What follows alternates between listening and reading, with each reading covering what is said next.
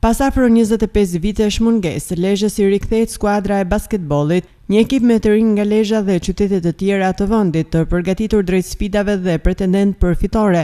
Tashmë Beslidhja mundet të konkurrojë me skuadrat më të mira në vend. Kryebashkiaku i Lezhës, Pjerin Ndreu, tha se ky ekip ka mbështetjen e plotë të bashkisë, ndërsa tha se nëse rezultatet e këtij ekipi do të jenë të mira, Ekipi do e fitojë vetë vëmendjen dhe mbështetjen.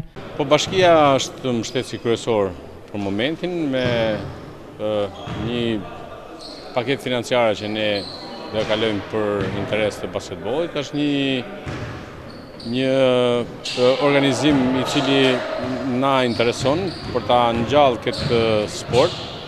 Dhe normalisht kemi shumë shpresë që ky ekip që tashmë është miks edhe me lojtarë nga Lezha edhe nga rrethet e tjera të bëjë një performancë shumë të mirë dhe të na nderojë dhe ta bëjë Lezhën që t'i kthejë sytë edhe nga shumësportet, të cilët për shumë kohë kanë qenë, siç ju e dini, në hije.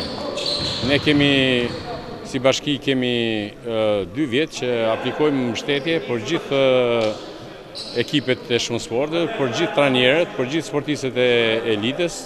Dhe kjo është një filozofi që ne do e ndjekim në vazhdim duke ndjek edhe ecurinë e rezultateve. Sa ma shumë të ngrinim rezultate, aq ma shumë ne do ngrimë dozën e e mbështetjes, duke pas parasysh se duhet të mobilizojmë edhe donatorë të ndryshëm nga biznesi, Por që normalisht dhe ata do reagojnë duke pa se po po lind një ekip real, një ekip që premton dhe një ekip që na çon diku.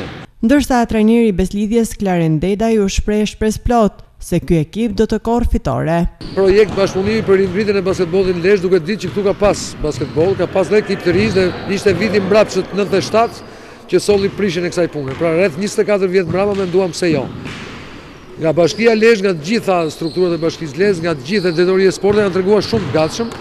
Ne kemi hartuar një, le të themi, preventiv financiar normal për një ekip në ligën nuk është liga e dytë, praktikisht është grupi i dytë, por që nuk është Superligë.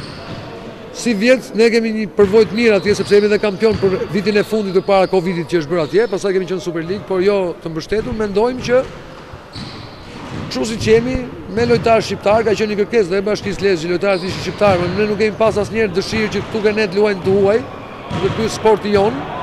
Dhe ne mendojmë që këtë vit ka një rivalitet fort në kategorinë e parë, janë ekipet e Elbasanit dhe Apolonia që po përflitet shpesh sepse ka marrë disa lojtarë të huaj, megjithatë ne mendojmë që një ekip që ka 7 vjet që luan bashkë, nuk do jetë kaq e thjeshtë as për ata amerikanët e Fierit. Ata do ta shohim ke fusha në javën e tretë ndeshjen me ta.